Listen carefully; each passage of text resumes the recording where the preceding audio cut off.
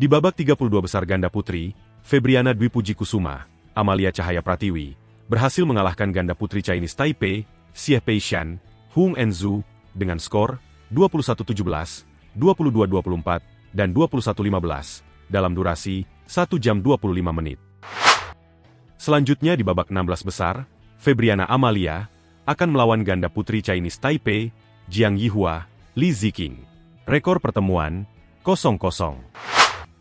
Di babak 32 besar tunggal putri, Putri Kusuma Wardani berhasil mengalahkan pemain Chinese Taipei, Huang Yusun, dengan skor 21-4 dan 21-9 dalam durasi 25 menit.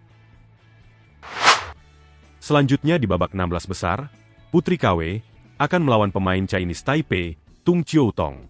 Rekor pertemuan 0-0. Dan di babak 32 besar tunggal putri, Komang Ayu Cahya Dewi harus kalah dari pemain Chinese Taipei, Liang Tingyu, dengan skor 21-13, 19-21, dan 21-23, dalam durasi 1 jam 4 menit. Sementara itu, Dejan Ferdinandsyah, Gloria Emmanuel Wijaya, berhasil mendapatkan bye di babak pertama, sehingga otomatis melaju ke babak 16 besar. Di hari pertama Korea Masters 2024, Fikri Daniel berhasil mengalahkan Kang Hai Sing, Aaron Tai, dengan skor 22-20 dan 21-17.